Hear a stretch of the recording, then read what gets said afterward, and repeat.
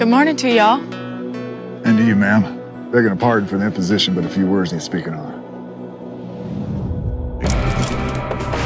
Condemned to death, my brother. Left him on the road past sundown. Rise and shine, you got yourself a visitor. I don't know you. Quincy Hollis Foster, United States Marshal. I want you to help me find Mr. Tullis. Gretchen James, Samson Sullivan, and Cyrus Pope.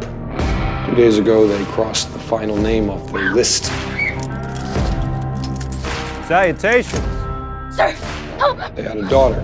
Might still be alive. You agree to help me find him when you walk out of here tonight a free man. For all in proper order, who are you? It seems you suffered a grave injustice.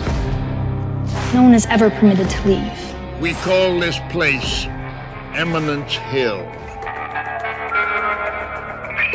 Fear not, for you confessed. I'm not calling you a lower than scum murderer.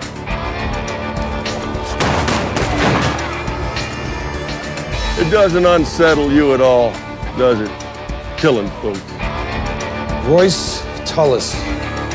Where is he?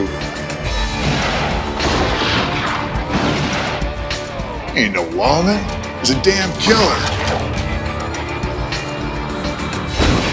A time or two has hell spit out a man such as this.